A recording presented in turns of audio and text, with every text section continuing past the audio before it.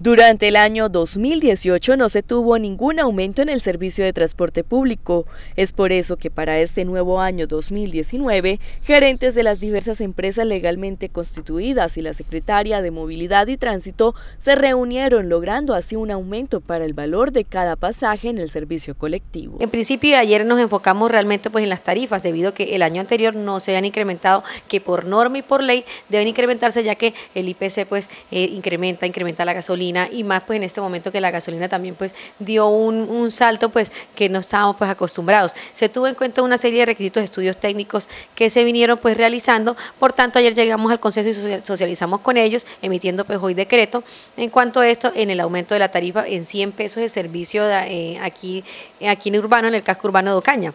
Para la ermita, sí, lo que es el servicio colectivo, se aumentó 200 pesos, Aguas Claras 200 pesos, Agua la Virgen 200 pesos. Y en cuanto el servicio individual, que son los taxis, ¿sí? Eh, se aumentó 500 pesos en la diurna, quedó por 5.500 y 6.000 pesos nocturna. Lo que tiene que ver la, lo que es las torres de cable Acacia, que son conjuntos que están un poco más retirados, eh, también la tarifa se estableció por 6.000 pesos. Esto también ante el incremento del rodamiento de los vehículos. El transporte se ha generado a través de los precios. Eh, por ejemplo, las pólizas han incremento en algunas empresas más del 20%. Y estamos satisfechos porque eh, había que generar ingresos. Eh, vos como contador sabes que si no hay ingresos, pues la verdad que los gastos se aumentan y eso había generado es una política perrónea que, a veces se piensa que prestar un buen servicio no subir precios, pero los costos sí suben y eso genera un desequilibrio financiero a los bolsillos del asociado y también a los mismos conductores y a las cooperativas en sí. Entonces estamos buscando que estos acuerdos se cumplan y que la Secretaría sea garante, como en otras ciudades,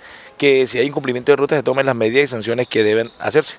Para los próximos días se tienen previstas futuras reuniones para llegar a algunos acuerdos que permitan tener asimismo un mejoramiento en el servicio que se viene prestando en el municipio.